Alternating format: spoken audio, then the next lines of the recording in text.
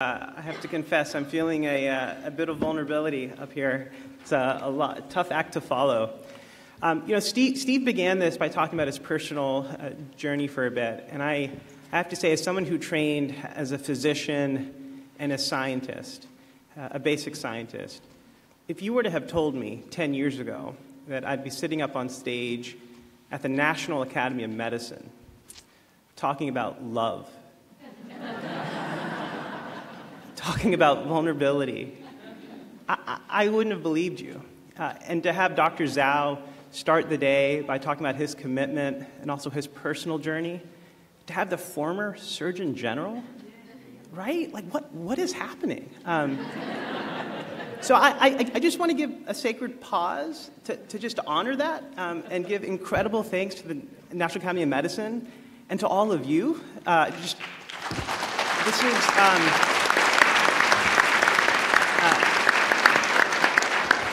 you know, this is real, guys. This is, you know, this is a movement. This is what it looks like. Um, so I will be super brief because I want to have time for Q&A. Um, I, uh, Dr. Dzau asked me to lead the publications uh, team to make the invisible a bit more visible. Um, and I have to give incredible credit to the National Academy of Medicine staff on the art show. I'm supportive, but that's uh, all of them. So in terms of products, uh, there are three I want to focus on for this audience. One came from uh, Dr. Dzau, Dr. Nasca, and Dr. Kirch, chair, uh, chair and co chairs, on framing the issue to care is human, published uh, January 25th, 2018, in the New England Journal of Medicine. And the key point here for this audience is to me, this highlighted the value proposition of the Action Collaborative. This isn't about point solutions and ad hoc thinking. This is about a true systems orientation that's going to take leadership that's going to take everyone here across generations and professions to make happen.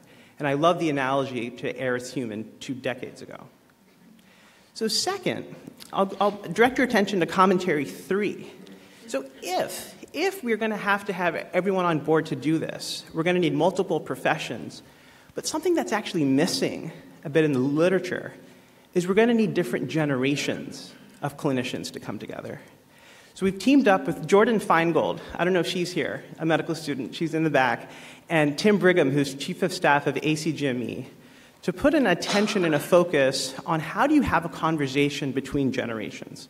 So we actually noted, if we're really honest about it, we noted that sometimes when young trainees raise questions about wellness, there's often the, uh, I'll call it the back in my day conversation. Well, you know, you know you don't know how tough it was. Uh, back, back in my day, and we heard hints about this in, in the earlier session on social hierarchy.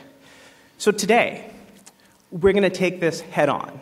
I don't know if you know, but there's a breakout group from 2:45 to I think 5:45, three hours, where Tim and Jordyn are going to model what a conversation between generations and between professions, medicine, nursing, and pharmacy, what that looks like.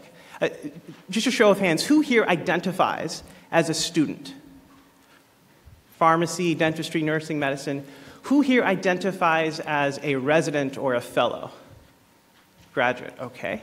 Who here identifies, and this is uh, tricky, uh, an early stage clinician?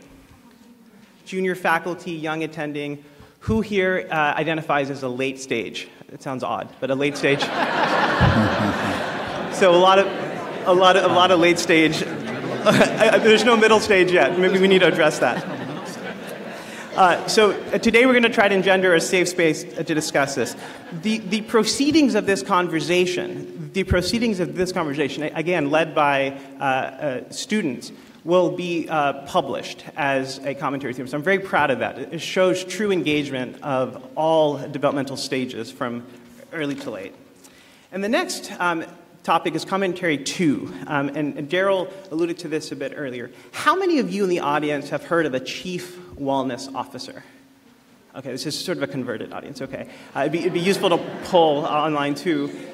Um, how many here are a chief wellness officer? All right. So look at that gap. Look at that gap, right? So we, we have a lot of people have heard about this. So we thought it is time it is time to actually make the case for a chief wellness officer for American health systems. And at the end of the day, you need a leader who's empowered and emboldened by the C suite, the CEO, the dean, with a budget, with authority, and scope to actually do this. This should not be token. This should be central to the bloodstream of the institution. And we,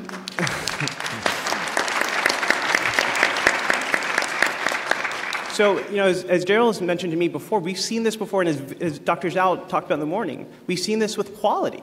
Now, with, there's a patient safety day affirmed by the World Health Organization and others. So, what does that now look like? So, we, we're going to provide three reasons. Um, it's the right thing to do.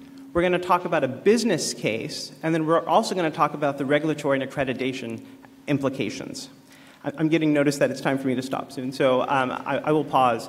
But the, the key thing I wanted to show you here were the authorship behind this call to action for a chief wellness officer.